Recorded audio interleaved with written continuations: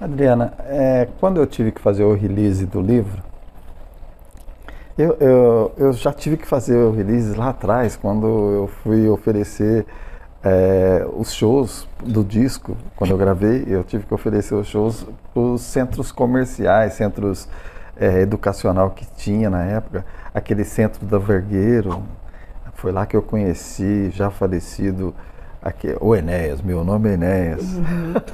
Ele era um dos presidentes lá, eu conheci, e depois, quando eu vi ele fazendo. Porque quando você conversa com ele, ele não tem nada a ver com aquele. Meu nome era, é Enéas. Era um personagem, né? É, que ele tinha pouco tempo de TV, ele uhum. tinha que uhum. falar muito rápido. E depois virou, realmente, é, passou a fazer parte daquilo. Mas o quanto ele era inteligente, o quanto ele era calmo, o quanto ele ensinava. E ele me deu as primeiras dicas de como fazer um release para conseguir o Centro Cultural Vergueiro, uma data. E depois eu vim aprender com o livro aquele 5W2H para você Sim. fazer o release, que ajuda bastante. E é uma ferramenta que eu sempre usei para qualidade, mas eu não imaginava que aquilo pudesse ajudar também para o release. É, explica para o pessoal qual a importância do release para uma assessoria de imprensa. O release ele é o texto que a gente usa é, para apresentar o cliente ou para apresentar uma sugestão de pauta, um determinado assunto para o jornalista.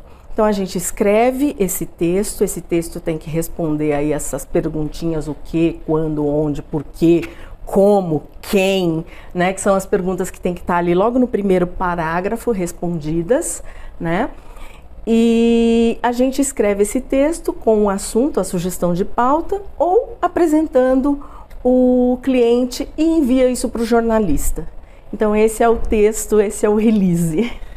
E que funciona, porque funciona. a pessoa depois que lê ali, eu fiquei impressionado de ver como ele desdobra aquilo e tudo aquilo que você quer falar acaba aparecendo como oportunidade com base naquelas perguntinhas. Naquelas ali. perguntinhas que você responde.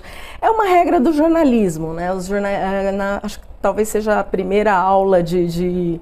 Da, da faculdade de jornalismo é essa, aprender a usar essas aprender a responder a estas perguntas logo no primeiro parágrafo de um texto jornalístico e que a gente usa também em assessoria de imprensa.